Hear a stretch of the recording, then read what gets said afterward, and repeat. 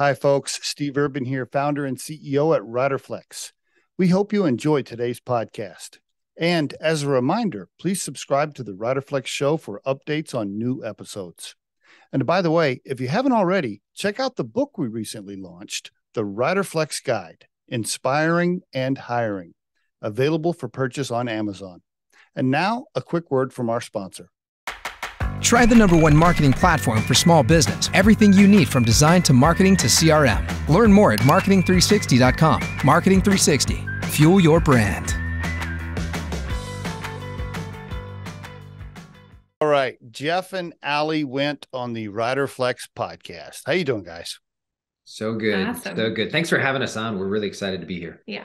Yeah, man. I you know I've had a lot of coaches on, uh, you know, business coaches, uh, self-help coaches, I mean, all kinds of stuff. So uh be interesting to get into it with you guys and see how you're, you know, different or what you specialize in or focus on. Cause I've had a bunch of those on. Maybe you know some of them, I don't know, but we can get into that. So uh um looking forward to discussing. I did see I watched a little YouTube video uh, of you guys earlier this morning when I was on the treadmill and did a little homework. So I got a little feel for your style, I think. Okay. That's great. I'm curious And- what video that And, is. and we're still on. This is a good deal. Yeah. Like, yeah, you're is still on. Yeah, you're still on. great. yeah. You're in Utah for the listeners. You're in Utah today, Salt Yeah. Lake. Yes, sir. Yes. Suburb Okay. of Salt Lake. Yeah. Well, give me give me the story a little bit personally before we get into business. Um, Ali, you want to, you know, even before your marriage, right? Um, mom, dad, siblings, where you grew up. You want to give me a little history, if you don't mind? Sure. So I'm a Midwest girl. Grew up in Minnesota. Um, Oh, there's the accent. I heard it right Min- there. Minnesota. In the- When you, you Did said Minnesota. Yeah. And you said Minnesota. Okay. Sorry, I didn't mean to interrupt. No, you're good. good. The second I say it, like everyone's like, "Oh, there it is, the accent." is. Yeah, you'll pick up on it. Um, but so grew up in Minnesota. Um, my parents went to ministry school actually as I was growing up. So we Okay. Moved to Tulsa, Oklahoma for a few years. Right. Um, then back to Minnesota, over to Wisconsin. Um, but stayed around Minneapolis, St. Paul, like Twin Cities area. For high school, is that where you graduated from that area? Yes, graduated in Wisconsin, Hudson, Wisconsin. So Okay. a beautiful river town right off of the St. Croix uh, River.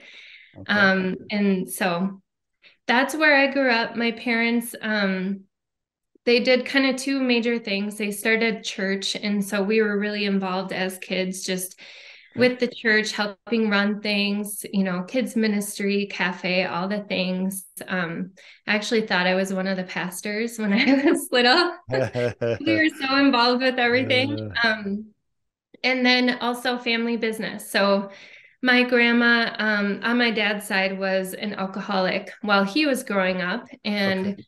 She went in and out of treatment. Um, finally got sober, I think probably in her 40s, and then Okay. she decided she wanted to give back, and so actually started a halfway home. Oh, Um, and then the company grew. She opened up. Uh, let me interrupt oh. here. It was a halfway home, but it was their it was her dad's actual home. well, yeah, it started. Their yeah, that's halfway home Yeah. in their home. yeah. When he was a kid, he'd come downstairs. He's like 12, and there'd be like some people sleeping in the mm. living room. And that really. was the beginning of the halfway house. Yeah, he talks about how he Oh, kept wow. Getting bumped out of his room to make more space for these people. So he eventually ended up living in the attic because like all the other bedrooms in the house were full. Yeah. Where was Grant? Where was Grandpa? Um they so my dad's parents had gotten divorced. Okay. Um Okay. but so this was living with my grandma Virginia. She was a very eccentric type woman and personality. I'm told I take after her more than anyone else, so that Okay. gives you just a little bit of context. But um, so she started this this company, um, really giving back and serving people who had been chemically dependent, Okay. helping them get a fresh start. And so that's where the family business started. All right. Um, my grandma passed away pretty pretty young in her 70s, and so my dad took over the business. Um, Okay. While he So- continued to minister as well. Okay. Yep, did Mhm. those alongside of each other for a Okay. few years, and then right. eventually had to decide which route he was going to go in. So he took over. He went full time into the family business and really Okay. Through that in a big way. And so I was a part of uh, that for 16 years. And I see. I see. Your mom was with you guys on. I mean, she she helped with the, with the business too. She ran the she business helped, with your dad. yep, she was just along for the ride always and everything. So part of Cool. the church, part of the business. Yeah. How many siblings? just one sister, older One- sister. One, sister. Okay. Neither of us set out to work at the family business, but we both did. She was my boss for many years. And Your sister was? Yes, yes. Oh, how, how'd Yeah, that there's go a over? lot. There's a lot going on there with the family Yeah, business It was really a family Yeah. affair. Yeah. Um, Uh, but it was wonderful and we really loved working together. It was a really special time in my career. And um, okay, that's cool. Was that Yeah. before college? Was that before school or no, or both? or- So when I started college, I started working at the family business very part time. I was never going to really work there, but I was just making Uh-huh. some money, you know, and ended up never leaving at least for 16 years, over 16 years. So Was that part of the reason you majored in psychology then? Is that kind of tied, Um, kind of tied, or what, were your what was your thought process there? I was going to do interior design or psychology. Don't ask me, like, Those go together. yeah, Right. Like, I, I don't quite know. You're Uh, dumb at that age, right? Uh, So Okay. I went to psychology because I Okay. loved my my psych classes, um, doing generals in college, and so I just went that route. Never Okay. fully used it, but of course it came into handy with um, Yeah. working with human Yeah. services. mhm, sure. For, Yeah. for sure. Uh, now let me ask you: Were you were you just a good kid the whole time? I mean, did you get in any trouble? I mean, was there anything? I mean, do you have anything in there? Like, No dirt. uh, was there like Trouble one, I like, like, like maybe? I didn't get in trouble for. Like I was the sneaky kind, right? So no, Oh, okay. like I was I was a perfect child. she didn't yeah. get she didn't get caught. That was the thing. You never had to call your dad from like the sheriff's office or anything cool, anything fun like that? Oh, I actually I did. I You did? Oh, here we go. Okay, now we're now it's getting interesting. I I, got- I'm learning this for the first time. Are you? Okay, so I got um mall security like Oh. arrested for shoplifting. Yeah. And and I, I had to call my dad from from the little mall jail. Um and they were asking for my parents' information. And I remember like telling them the wrong phone number because I was like, they're not calling my parents, but somehow they Like you told them the wrong I number told on them purpose. the wrong phone number on purpose. Did your dad come and get you? Did, did your dad come get you? He did. Yeah. They they got a hold of it magically still, even though Man, wow. Okay, that's pretty cool. You know, it's so interesting. Uh everybody's got a little something, right? Everybody's got a little something in there, right? Well, so okay, so that's your big that's the worst thing you you did when you were you were younger. That you'd call you okay. All right. All right, that's good. Okay, and then and then um real quick before we get over to Jeff though, uh this is not your first marriage. Is that accurate? that is correct. That's correct. It's amazing Yeah. how I know these things, isn't it? It- Isn't that isn't that amazing? You went deep. What tell me so what happened? Did you get Like, married early or what, you what's the stop. story? Yeah, what's the story, Ali? well, so both um both Jeff and I lost our first spouse. So Lost. my Mm-hmm. Lost. Oh, they- lost as in they both passed. passed Both away. passed. They both I yeah. Wow. Um, so my husband, I started dating him when I was about 18 years old. We got married at age 23. So did get Okay. married somewhat early and young. Um, Mhm. And then in 2018, May of 2018, so almost 5 years Mhm. ago at this point, Five years. um, he passed away like just suddenly. We there were no previous health concerns or indicators or anything. So What- it what- was um, What you, I mean, you just woke up and he was gone, or what? What? What, So- what happened? we were up at the family cabin with my parents and my sister and brother-in-law. Um, and we were riding around on a side by side. We were picking up sticks, doing yard work, that kind of stuff. Um, Okay. So at this point, I was how I forget like age. I was 31 years old. He was Okay. 33. Okay. Um, we had our two boys, Elijah and Amos, um, who had been adopted, and that's a whole nother story, you I know. see. But Okay. so um So Elijah was Elijah was three. three, three years And old, Amos was like Amos- nine months old. nine months. Yep. So we're riding around in the side by side. Amos was right between us, and um, all of a sudden, Tyler, uh, my husband, just slumped over, kind of on top of me, and I, I had no idea what was going on. At first, I thought he was like being goofy and playing around, and uh, realized there was something wrong. And so um, I yelled for my parents, and both of them tried to do, you know, CPR. And wow, uh, we called 911 immediately, but we were like four hours kind of up north outside of the mm. Twin Cities area. Um, mm. Mm. And so, in a little bit more of a remote area where it took a really long time for first responders to obviously first show up, but then the ambulance and they had even called a helicopter to come get him. But mm, um, mm it, everything was just too late. It was a heart issue, and um, oh, they were never, never able to revive him. And so, wow, that is tragic. I'm so sorry that that uh, happened to you. Holy cow, that probably shaped a bunch of other things in your life as you moved along Absolutely. here. Yeah. Um, wow, that's terrible. Um, could you do you mind me asking? Sometimes I get really personal on these things. Not could you could okay. you not have kids, or you just wanted to adopt for other reasons? So both. I always okay. wanted to adopt. Um, okay. Okay. And thought we'd have kids biologically too. Um, but the biological thing like wasn't happening, okay. and okay. we were pretty laid back. So we are just like, ah, maybe that means like God wants us to go through the adoption first, and so we did. Um, adopted Elijah, and then um, then found out that I actually couldn't have kids, had to have a full hysterectomy. I see. Okay. And then okay and then went through with adopting Amos and we had plans to to keep going um but one one more question before we move over to Jeff on the personal stuff. Yeah. Did that test your faith? I mean, it had to have tested your faith a little bit, didn't it? I mean, I I know it would have tested mine because I would be like, I'd be looking up there, be going, "You got to be kidding me! You took him away from me! Like, come on now, you know." Right. yeah. Did, did that affect you? Did you go through some stuff there? Yeah, of course.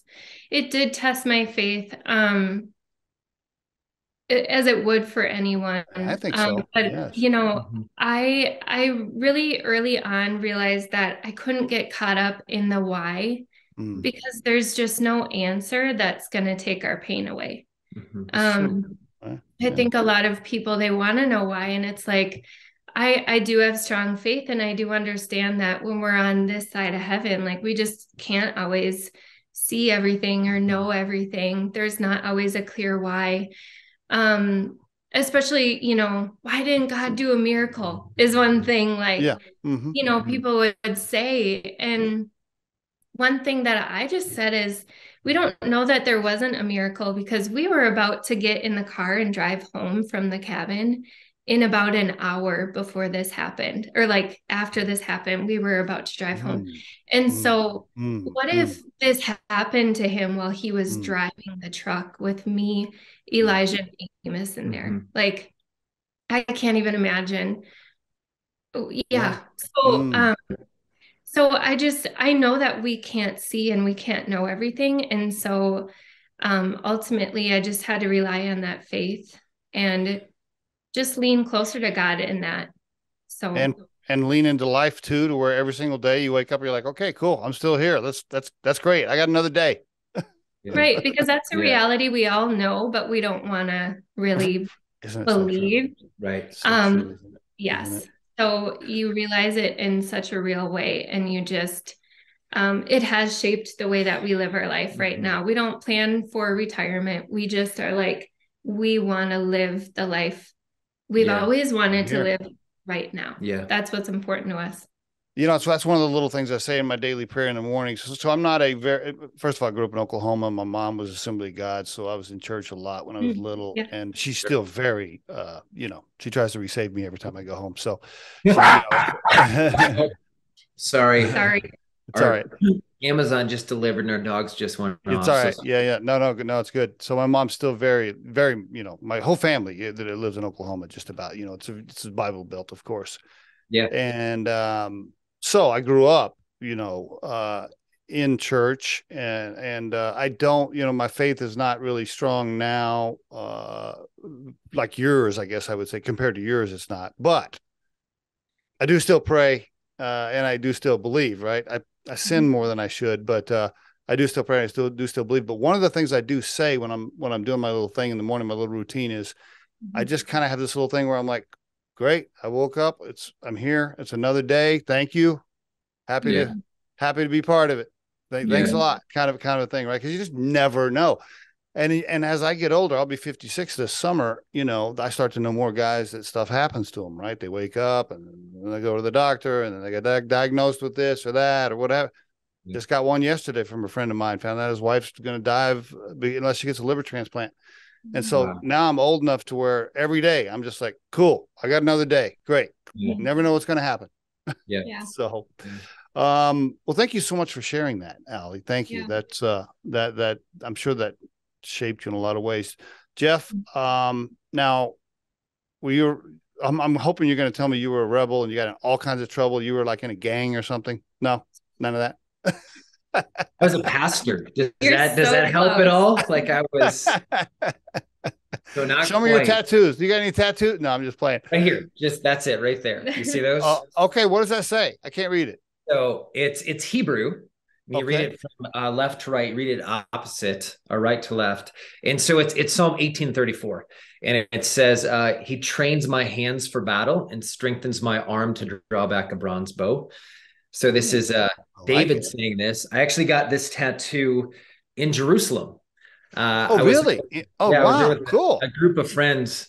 There's 22 of us total, and um, 20 of the uh, group got tattoos, and the only two that didn't were my 13 and 15 year old sons at the time. And uh, my 13 year old son Noah is like, Dad, please, can I get a tattoo? He's like, I'll be the coolest kid in middle school. And I was like, oh, I'd love to, Uh, but I'd probably be the worst parent in middle school. So anyway, Uh, yeah. Yeah. so and I got these tattoos. Um, Oh, I got this tattoo uh, eight months, seven months after my wife passed of cancer, and so I see. like, okay, so yeah. that's how you're. That, okay, so your wife passed. Oh, what breast cancer? Do you mind me asking? yeah, breast cancer. We uh we fought it for three years, Okay. um, and had a, a year of where we call it the year of battle. and then Mm, there was a year of like kind of reprieve and then it came back and and in by the time we found out it was back to the time that she'd passed was uh seven months so say this- super quick. Yeah. Yeah Uh, does she have the? Did, did, did she have? I know that. Um, gosh, we just got this from one of our recruiters uh, recently uh, on the team here at Riderflex. Um, she just got diagnosed and she's going to immediately go in for the double mastectomy and the reconstructive surgery. Did Yep. your did, did your wife try that? Did she did she try that? Was it too late or?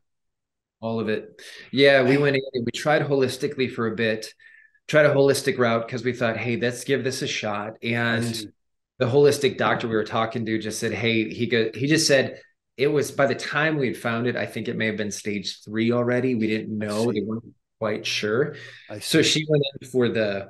She Mm, had a round of chemo, uh, or um, like a multiple rounds of chemo, mm. and then a, a double mastectomy, reconstructive, thirty rounds of radiation. Like it was really intense. So it was like a year that we we battled it, and then uh, she seemed good for about well for another year, and then it How came old back. were the boys at that time? They're that three year period. They were So um, this is at the time I had my wife Tiffany and I had five children together. oh And oh oh okay all right. Yeah, you so two boys earlier. So we okay, have five. seven now together. Okay, it's all right.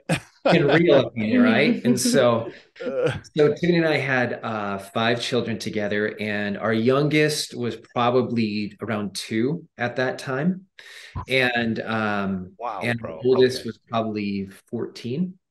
And so, just yeah, so it'll be four years this July that she's passed, and so, um, yeah, so that was Did kind of the have- time. Did you have family around to help you uh, do, f- with that? I mean, uh, and how, yeah, I mean that's a whole nother podcast. Uh, five Yeah, five sure. kids, you, you're taking care of your wife, trying to work. I, I don't know if you did work. I mean, wow, bro. Okay, yeah, that's tough. Yeah.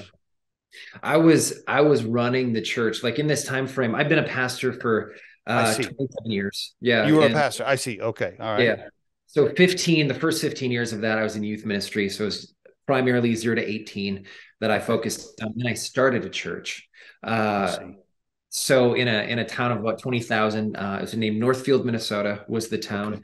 Okay. And it's about 45 minutes, 45 minutes south of Minneapolis and St. Paul. Um, and so that grew rapidly. It was a, a large church in a smaller community.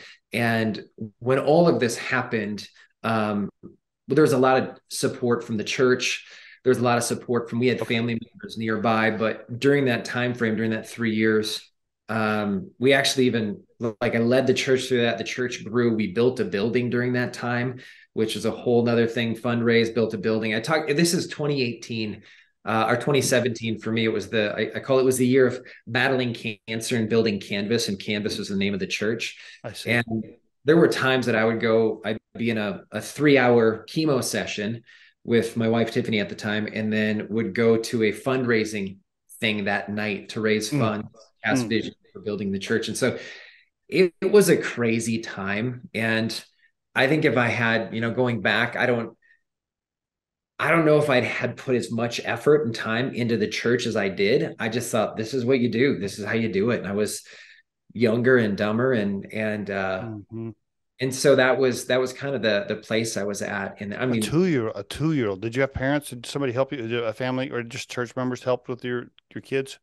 So uh, Tiffany's parents lived really nearby and they helped on a regular basis. But we had a, a lot of support from the church. I had one young couple, like, and this is a great question because, like, you know, we'll talk to people or we'll counsel people that are walking through a scenario like this. And, mm-hmm. you know, whether it's like, hey, how do I help someone going through a crisis or hey, we're in a crisis?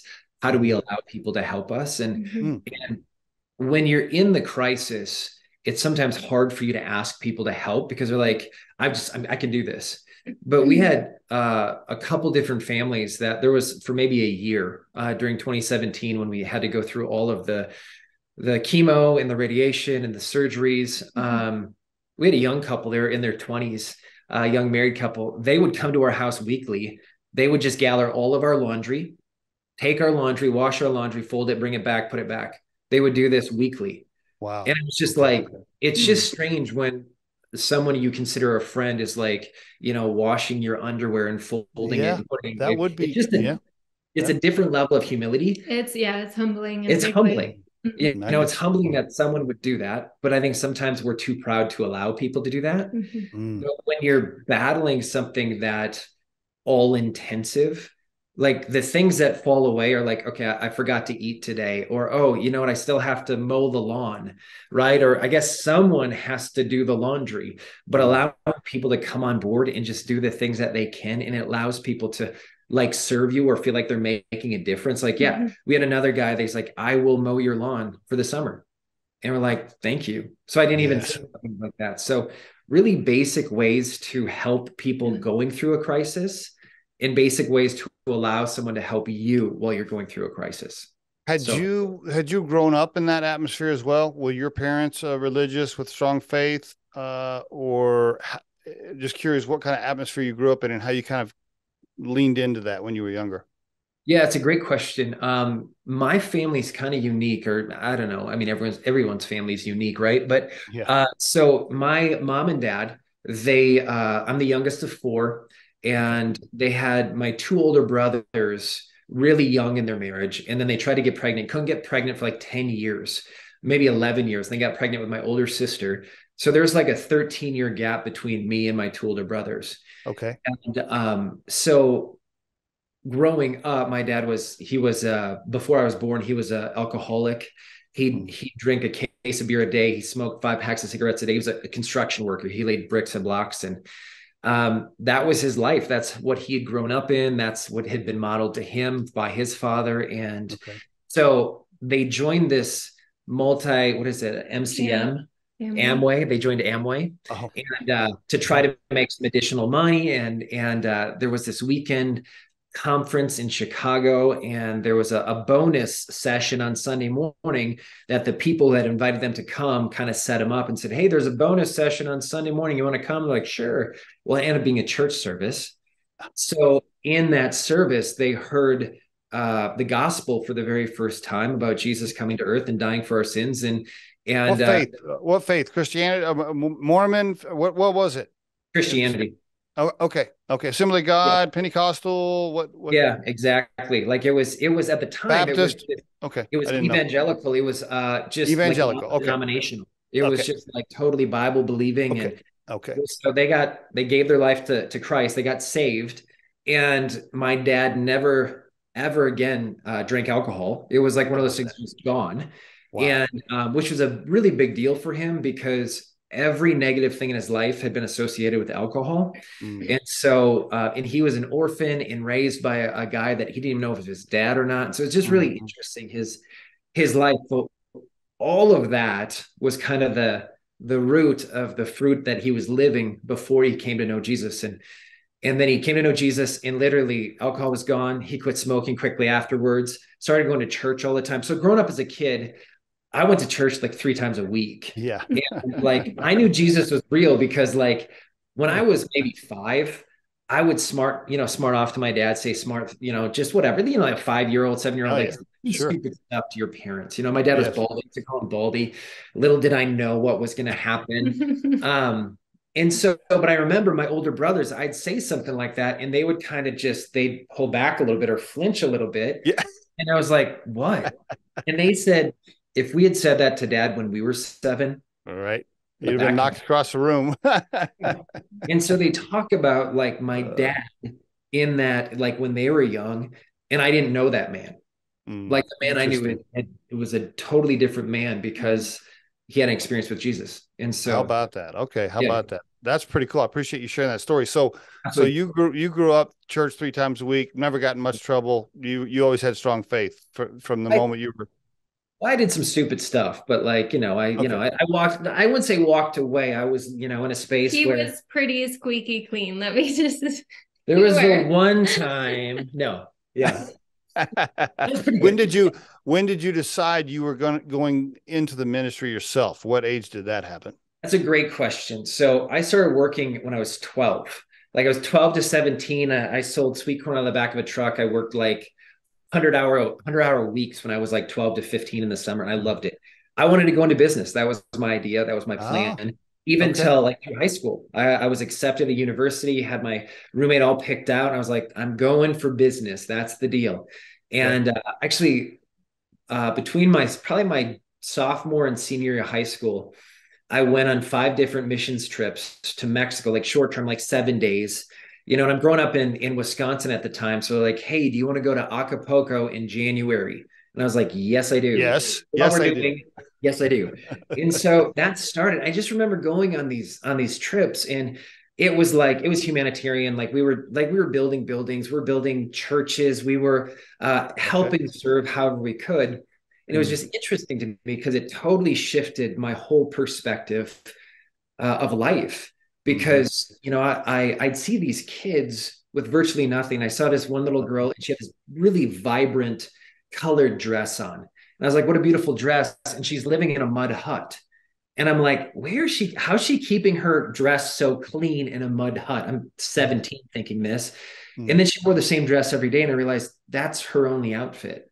Mm-hmm. And then I flew home to Wisconsin and I'm living, I'm li- literally living in a trailer court. Like I live in a trailer and I'm looking at like my closet and like, man, I have more clothes than I can even think yeah. to to wear. And I'm like on the lower end of, you know, maybe the lower end of middle class, higher end of poverty in the States and growing up. And compared to what they have, I'm I'm wealthy beyond mm-hmm. wildest dreams. Right. And it just it messed with me.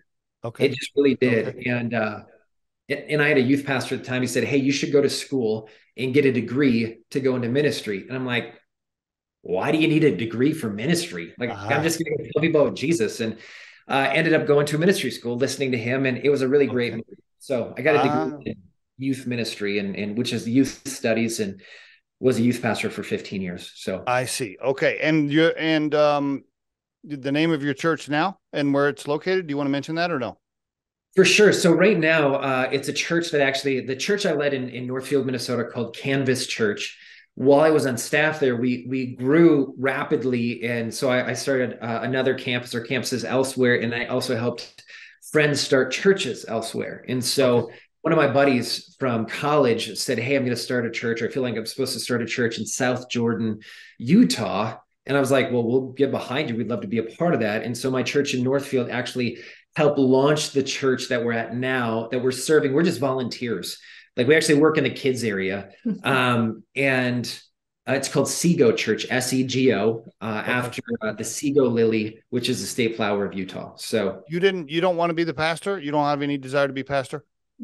You know, uh, it's interesting. I, I, it's it's a unique space to be in because um, uh, I'm really good at being a pastor. I'm just going to say that. If your wife could edit that part out after we're done, I was good at it, but I always led I led as more of a CEO type and more of a like more of a coach than a shepherd, if that makes sense. Okay. So I always led the church in a very business oriented manner. Well, and it I, is. I mean, it does have to operate that way to a certain extent. I mean, it's great to spread the gospel, but if there's no money, there, there's no church. So, I mean, there's no lights. If 100, percent and that was like, I mean, that's how I led. And a lot of people, um, they don't necessarily expect that from a pastor or love that in a pastor. They okay. want oftentimes okay. someone who's more of a shepherd type personality. Mm. And I'm more of a driver. I'm more of a CEO. I'm more of a visionary. I'm more of a, hey, this is where we're going. This is what we're doing. Here we go.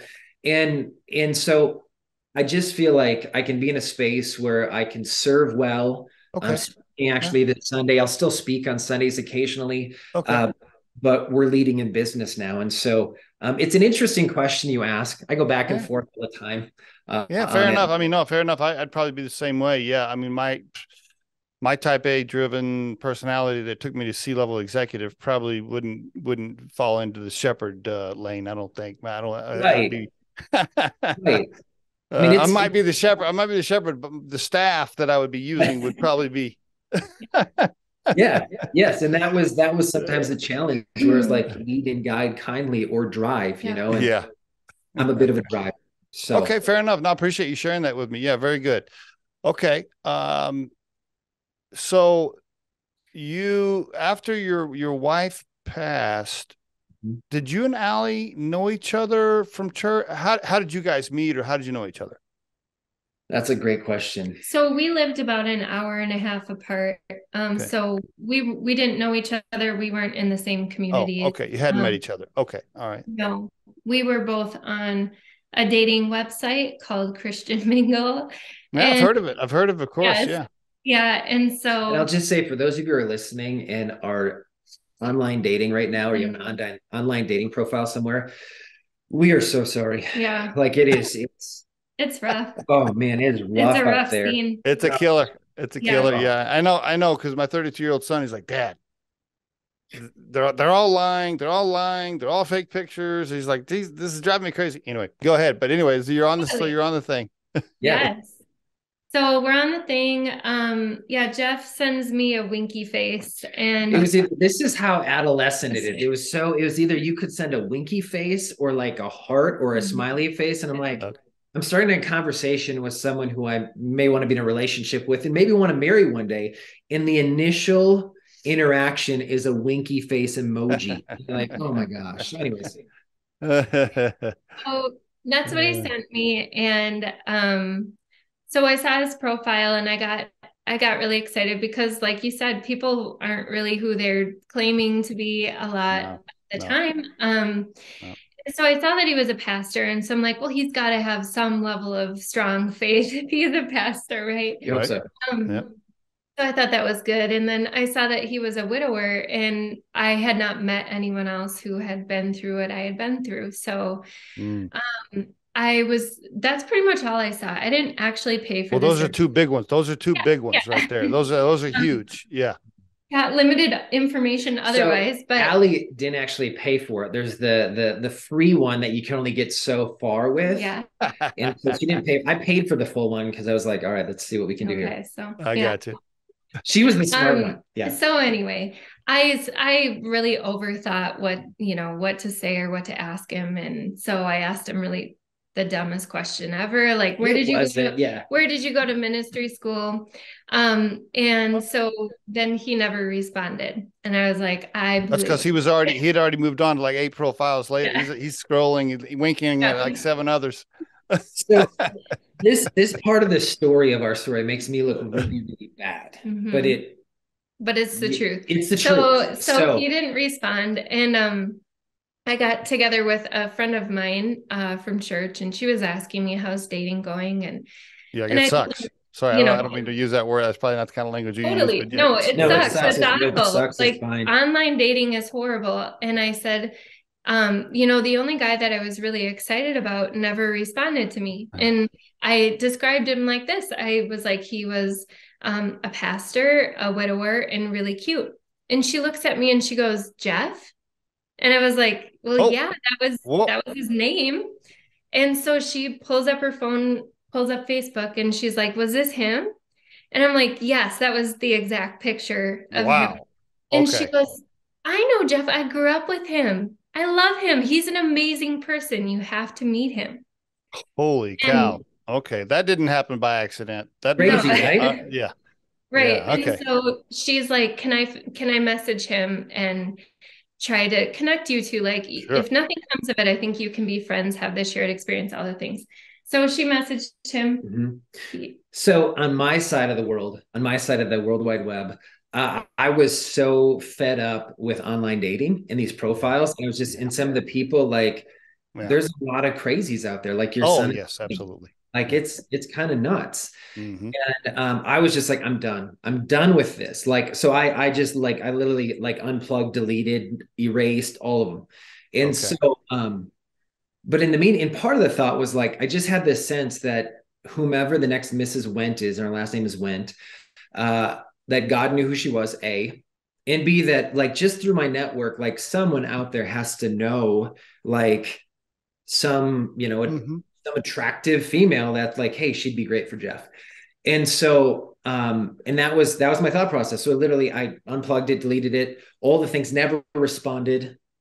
Um, and so then then our mutual friend reaches out to me and says, Hey, are you interested in dating?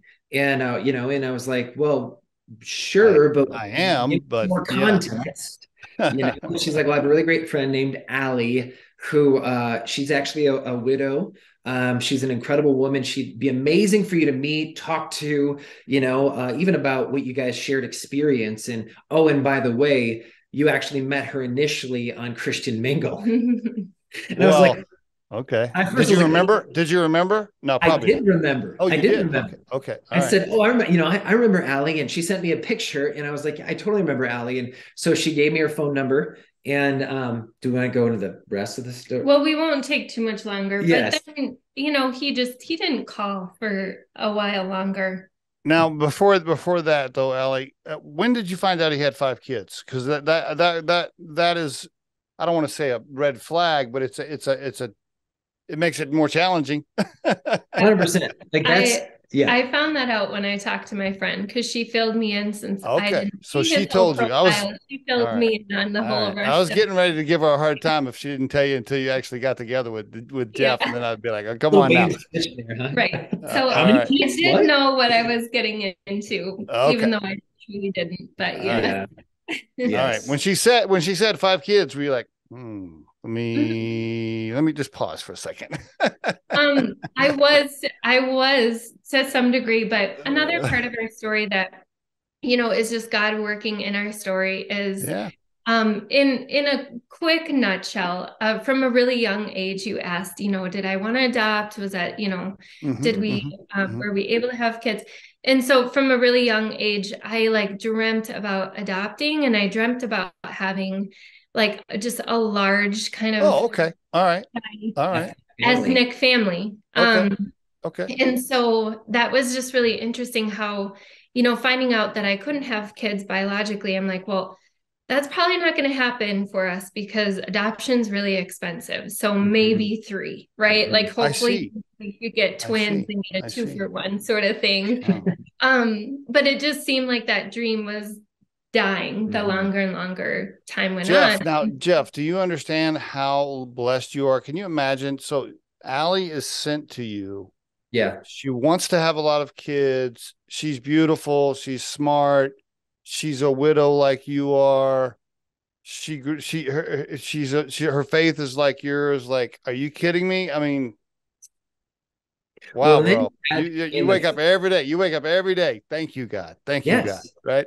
and then the fact that we literally met in one of the most divisive seasons in, in our country's history. We met in 2020. Mm-hmm. So right. right? don't tell me you met with a mask on the front. You didn't like come. You didn't like. Oh, nice to No, that we, was we a precursor. We we're outside. A, but if I had walked up with right. a mask or she walked up with it, it would have been like, "What's going?" Like yeah. A, yeah. Wow. Like, would we have engaged or just walked away? Like, answer that question.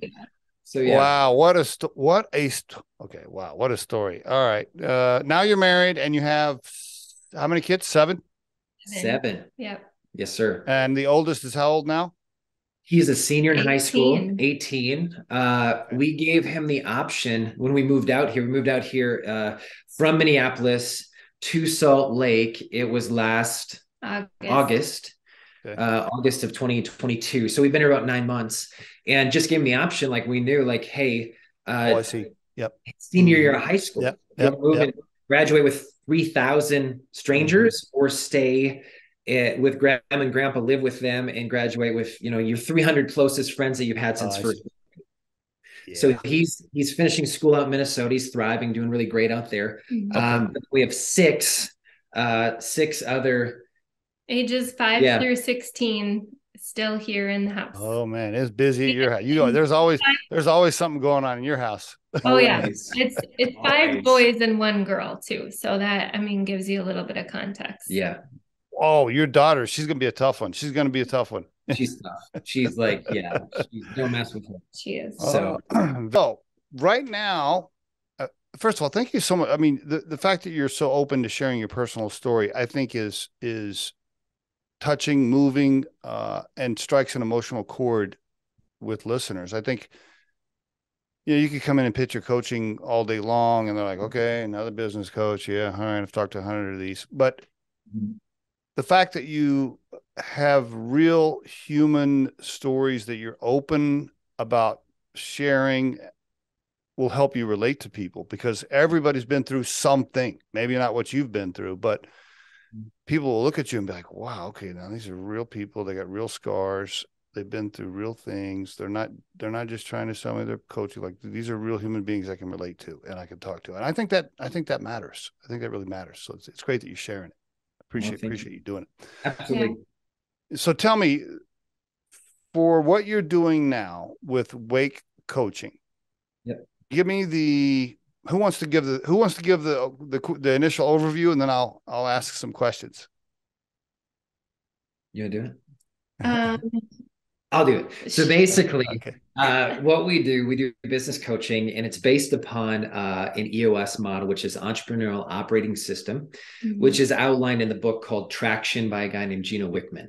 Yes. Now, Gino wrote it like 20 years ago, and basically, it just helps business owners, entrepreneurs uh, get all they've wanted out of their business, uh, mm-hmm. as well as like feel like they own their business rather than their business owning them. Mm-hmm. And it's just it's super practical. I know mm-hmm. sometimes everyone's kind of looking for the silver bullet or the magic pill, and I think the silver bullet is just hard freaking work. Uh, yeah, it starts but, there. yeah, but working the right way, right? Like working smarter rather than harder. And mm-hmm. uh, the tools in EOS really allow you to work smarter. Mm-hmm. Um, now, our stories with EOS, uh, Ali did it in the family. Her family business did this.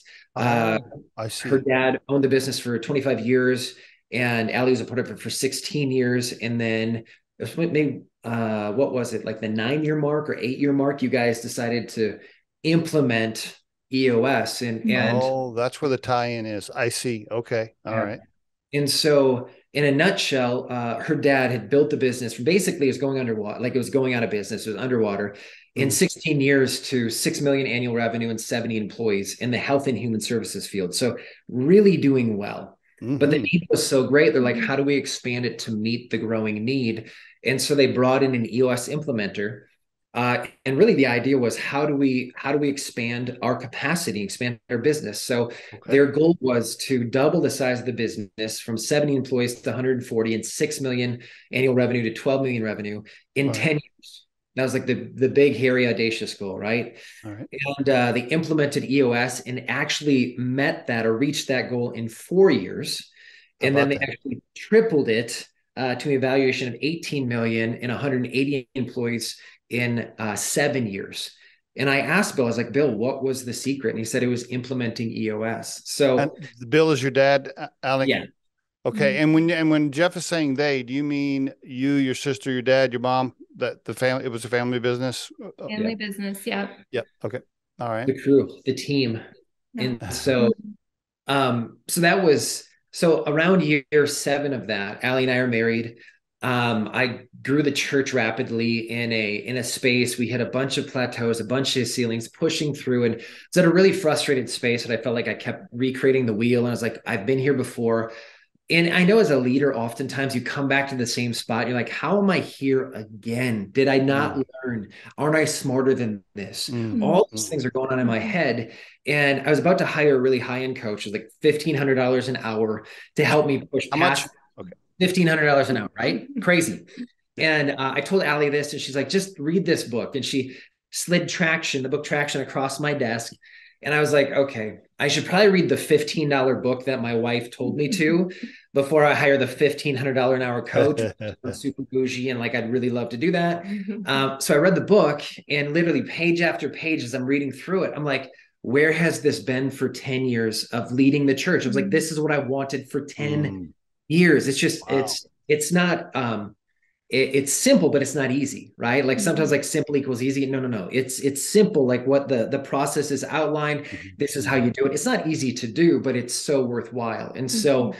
I said, Ali, I said, how do we uh, incorporate this or implement this in the church? And so I actually stole Ali from the family business, and she came and implemented uh, EOS into the church I was leading. Interesting. Okay. Probably the best, I don't know, the best testimonial of how it works is I had a staff member who was with me for eight years, eight of the 10 years that we're leading the church up to that point. He said, We've done a lot of things in eight years, but in the past six months on EOS, we've done far more things, like just as far as alignment, efficiency. I was like, wow, that mm. was great to hear. It hurt my heart because I thought we were pretty smart before that. Um, but I was like, no, we're on the right path. And he's actually leading the church today. After I left, uh, we voted him in and he's mm-hmm. he's leading the church today. So that's a little bit of our experience with EOS. Mm-hmm and so and, and did you then when you stepped down from being a pastor uh, um, is that Ali when you you guys talked about okay well let's if if we're not going to lead a church let's take what we've learned and lead a consulting business with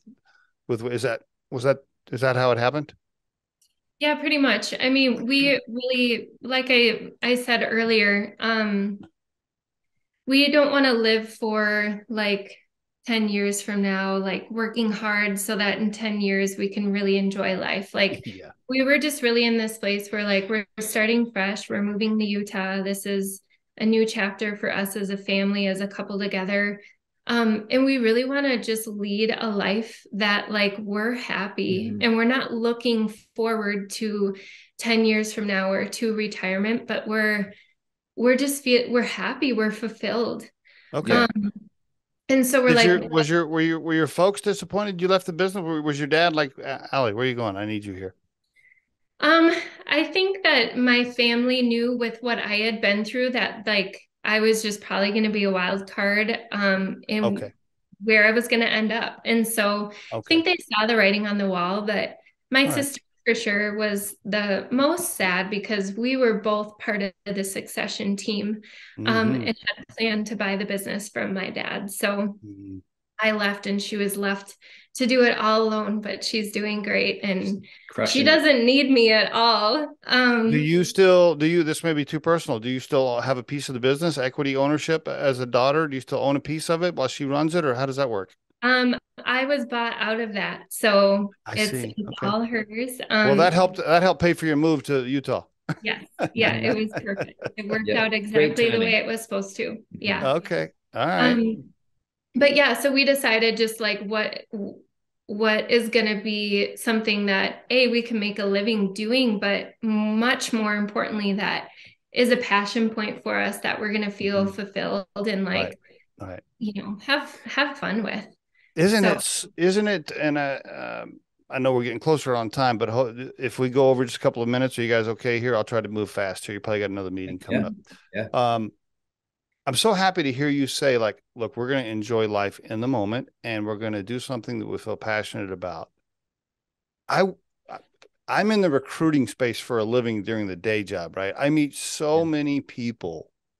They're just looking for the next job. They're just like, I just got to, I just got to find another job so I can make my mortgage payment. I just got to get another job that make.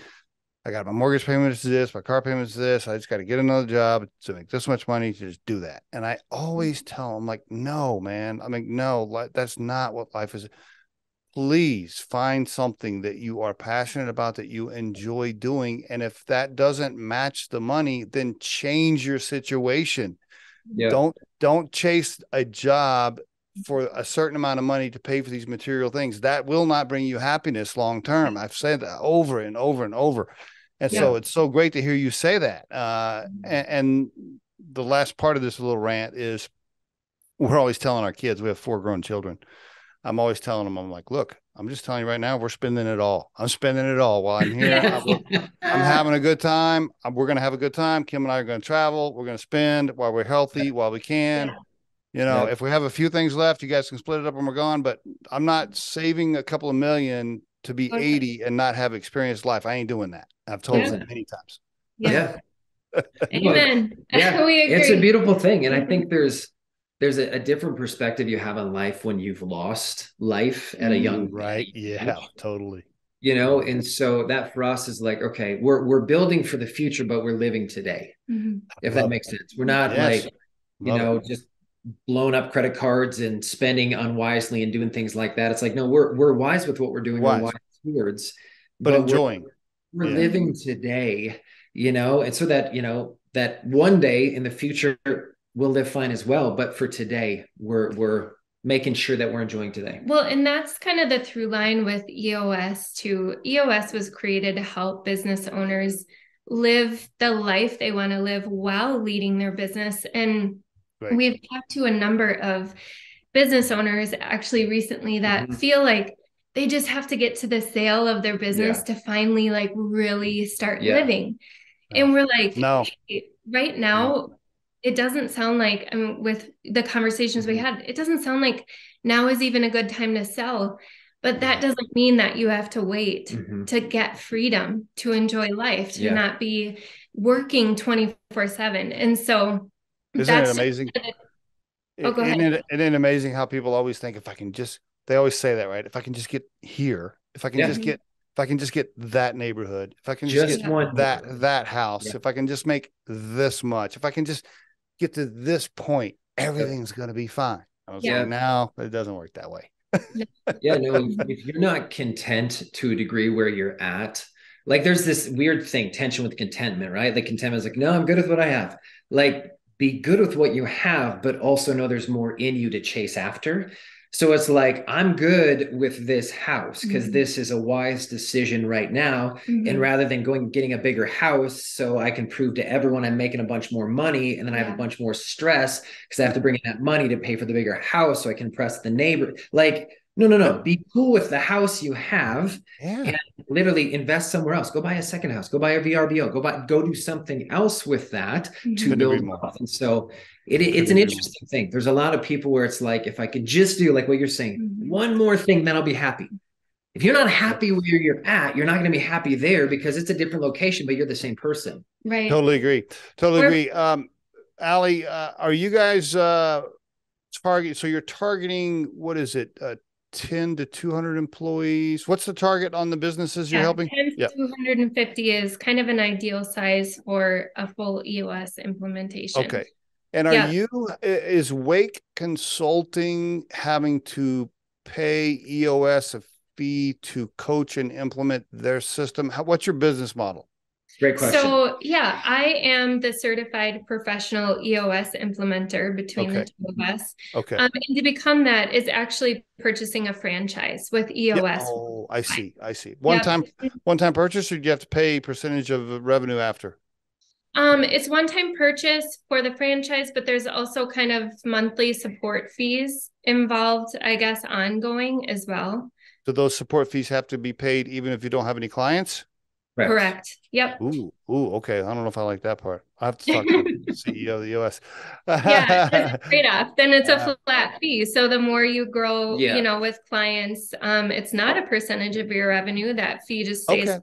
So there's, you know, some pros and cons to that, but for and sure. Is, startup is, that's more challenging are you implementing a saas system then uh, to a certain degree once you do the once you do the in-person coaching is it then like oh, okay i'll log in like a saas or or, or what no, so there's some really great partners with EOS that have created software that will help, you know, help you do everything. Um, but EOS itself is not software in any way. It's okay. really just um, daily, very practical disciplines. Okay. Is a good way to think of it mm-hmm. um, for your business to run on and your leadership team to run on. If if if a company hires you guys, Wake Consulting, are they paying Wake Consulting, and then once you get paid, you're paying you you they're they're not touching EOS. Your clients aren't touching EOS. Is that right? No.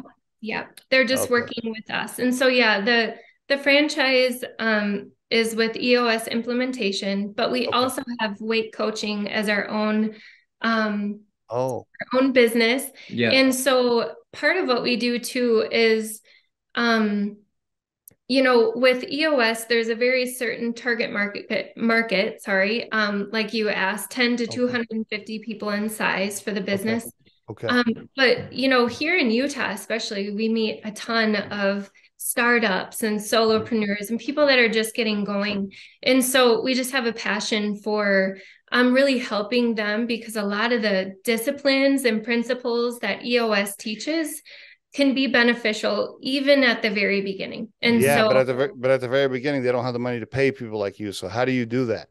We actually we we broke it down where it's like you know what Ali was saying the 10 to 200 employees uh, the majority of businesses in the United States are 10 employees or nine employees or less. So 80% of businesses aren't target markets. So we've mm. created two different offerings for uh, individuals in that space. Okay. Uh, one of them we call onboard, where the idea is we actually get on board with you. We're kind of like a, a fractional leadership team, okay. uh, help you, you know, discover your core values, help you figure out, you know, the type of people you want to hire to actually be on your lead team to prepare you uh, for whatever's next. And that might be an EOS implementation, or it might not be. I and see. So we kind of jump on board with you. So that's like we're with you uh, twice a month, talking through these things. And then we have one-on-one coaching where uh, it's literally we, um, you know, whoever the client is. I have a client in Minnesota that I talk to on a regular basis where he's a real estate broker, and we're talking about how to manage some of his his 1099 staff, and then on the okay. flip side, talking about how to manage their life and and how a nanny uh, is actually a part of the team and they need a nanny if they're going to function in their business well and so there's this interesting thing about business coaching that when you get into someone's business you get into their business, right? Like it's just like it's just life. Like you're doing mm-hmm. life together, mm-hmm. and um, so yeah. So when you're touching when you're when you're touching prospects or clients or customers, sometimes you'll pivot. You'll you, they'll they'll hire you for cons- consulting, but then maybe okay now EOS is good for you. We'll go ahead and implement that or or something yeah. to that to that degree. Um, not to mention how about life coaching? You guys could just be, I mean, yeah. Forget about the business aspect. How about yeah. just all the things that people go through in life based on your own experiences with your parents and everything else? Like, I might just pay for that you know, I mean, do you, does that happen? Do you do, does it bleed over? Does it does it all bleed together, or how, what happens there? I mean, with the one-on-one coaching, absolutely it does. Yeah. It's a yeah. little bit more um, based on that person. It might be their professional goals, but it also um, when you're looking at one person, you can't really just only talk about things with within the professional realm without also getting into their personal life or belief yeah. systems or yeah. you know whatever is going on. So it's like we're such holistic beings. Um you can't really address one without the mm-hmm. other. And so okay. um, especially with that one-on-one coaching we go everywhere. Mm-hmm. what what percentage of your revenue do you see being Wake consulting versus eos implementation? How do you how do you see it going well, the disparity between the two, the EOS implementation is much more expensive. Okay. Um, that's just a, a, a, spendier price tag mm-hmm. because you are in that that space where you can afford it to a degree. Where Okay. what we're running into with the Well, weight and component. I mean, you're working with an entire leadership team and Yeah. you're Yeah. Yeah. impacting an Yeah. entire Yeah. organization over two years. So it's just, it's a very robust, um, very. It's a two year. It's a two year contract to, to do that. If I if I wanted EOS implemented here at Riderflex, it's two years. Yep. Um, and it's not a contract, but yes, on average, it takes about two years to, to run through the full process. It's not a contract. I want to dig deeper there. Do I have to pay you month to month, or do I have to pay you all at one year up front? What what? How does that work? Because you know, all business owners like me, that's the first question. How much is it? How much is this, and how long is the contract? Yeah, it's it's a bit of a pay as you go type service. So we meet Oh, with okay. the leadership team um, on a monthly basis for Okay. a while, and then on a quarterly basis, kind of for a remainder of the time. And so um, they just pay as they go. Okay. Um, oh, I see. Oh, they pay as they go, and you're telling them it could take two years, but if they run out of money in three months, they can stop. yeah, we're not gonna they're not Completely at will. Yep, Yeah. completely at will. And we might get into it, and we've got into it with a couple clients that they think they're ready for it, they're excited for it, they get into it, they're like, "Whoa, this is too much." And it's not like, "Well, we'll see you next month, and here's the bill." It's like, "No, we. How can we help you? How can we help you get to that space? Mhm. How can we help you feel like it? If you feel like it's too much, that's great. We'll step back. That's good. How can we assist you with the tools we've taught you and or trained you in already? Yeah. And so, um, yeah. So I mean, I think that's what we do. We love to see people win, and so yeah, however we can help. Every business that I've ever seen, whether I've run it myself and I ran a couple of $40 million companies before I started Riderflex, and I've been involved Yeah. with so many different things as an advisor or whatever. Every business is messy to a certain degree. Correct. And the primary reason they're messy is because human beings are involved. Yes. Yes. Yeah. and uh, so my point is I, everybody's a target for you as long as they can afford it every business needs some help if Mhm. the founders and the owners will just admit that they need help you know sometimes you get these especially the older ones you know where they're, i've been doing this for 10 years and this way we've always done it and okay johnny i know but it's not working so open Mhm. your open your mind That's the key is Yeah. admitting it. they Mhm. all need they all need they all need help and usually it comes down to the human element which you guys seem to be excellent at it, it i mean okay let's just assume they have a decent product that people want to buy or service right? Let, let's just Yeah. make the assumption that they got they got they got a they got a mug that people like or they got a service that people want. Yep.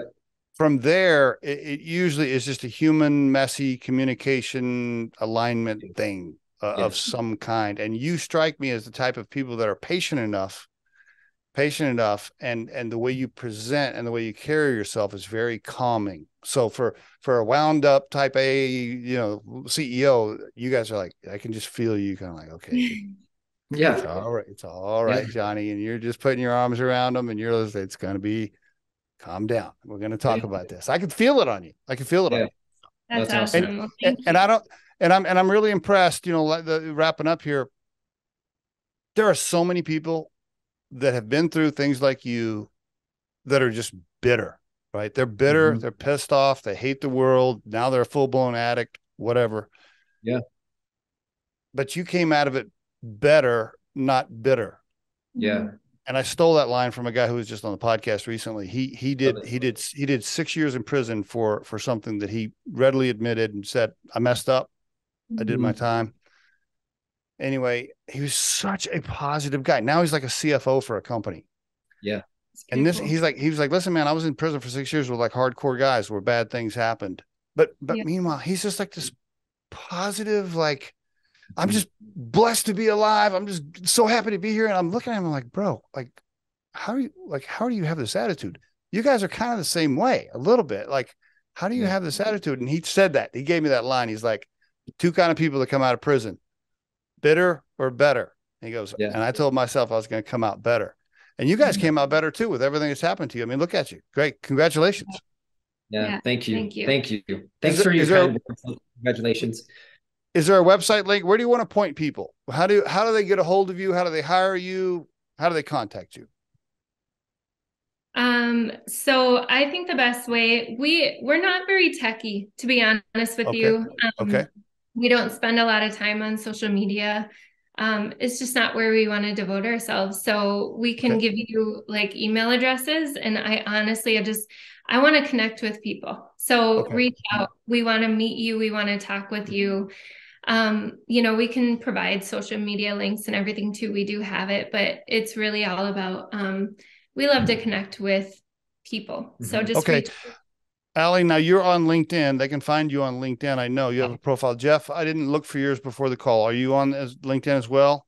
We're actually friends on LinkedIn. Yeah. So I'm sorry. I should have no, known that. So totally yeah, fault. I'm on LinkedIn as well.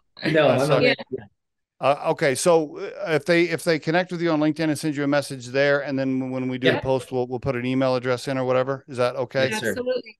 And we okay. do have like the social media, like the um Jeffrey R Wendt or Jeffrey Wendt. That's normally mine on whether it's Instagram or Facebook or LinkedIn. And so there is that. DM us there. That's great. Uh, I, I can't like we'll we'll we'll be immediate on it because we're like Ali said, email is wonderful. It's a way to contact us, but it's not the best way to really like engage with us or find yeah. Understood. more. Yeah. Understood. Okay. Well, thank you very much for sharing your story on the Riderflex podcast. I really appreciate it. Thank you so much for the opportunity too. It's honestly our honor to be able to share it and um, just speak into life. So yeah, we appreciate Steve, it. Thank you.